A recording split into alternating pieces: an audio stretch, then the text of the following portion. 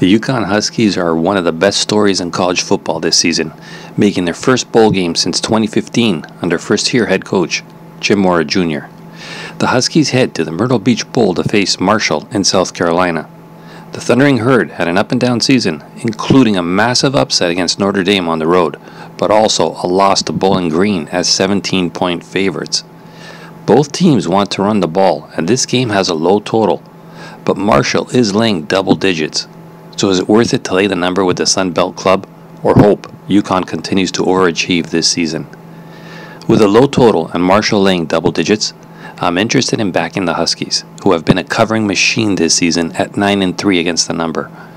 The Thundering Herd have a fantastic defense, ranking top 10 in metrics such as yards per play allowed and points per drive allowed. They are number 1 in the country in success rate and rush yards allowed. Marshall's defense can limit a first run UConn offense. The team averages nearly 5 yards per carry and is top 10 in explosive run rate. But I don't trust the Thundering Herd's offense to win with margin. This is a group that has been favored by 10 or more twice this season, and they lost outright, both times to Bowling Green and Louisiana. Marshall's offense has made them an undesirable favorite this season. The team's offense line is putrid, outside the top 100 in tackles for loss as well as line yards. Above that, the team can't stretch the field with the passing game, bottom 20 in explosive pass rate.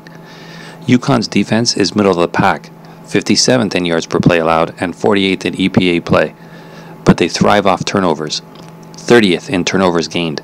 Marshall's offense is prone to negative plays often, 118th in havoc allowed, which factors tackles for loss, passes defended, and turnovers and UConn may be able to flip the field with turnovers and take control of this game.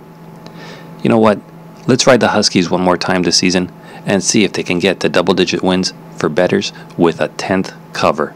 Give me UConn, currently at plus 11.5 to cover here against Marshall. What say you? Let me know comment section below. Always interested to hear your take. Taylor Fade, may the winner be yours. Good luck and go get them. This is Trending Rabbit.